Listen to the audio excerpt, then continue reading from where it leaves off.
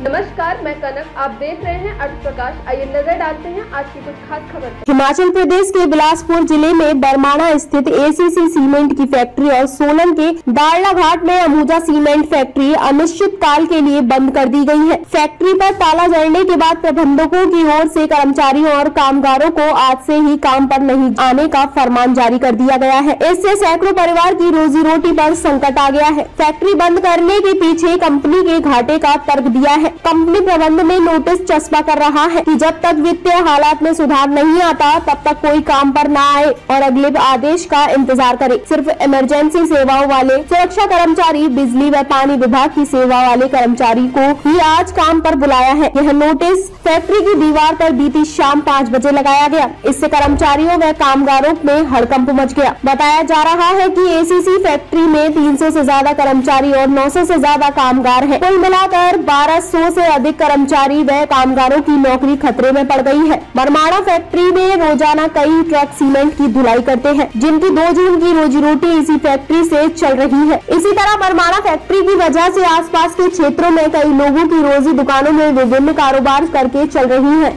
लेकिन फैक्ट्री पर ताला लटकने से सभी की रोजी रोटी पर संकट आ गया है। ताज़ा अपडेट्स व बड़ी खबरों के लिए सब्सक्राइब करें आज प्रकाश टीवी और बेल आइकन दबाना न भूलें।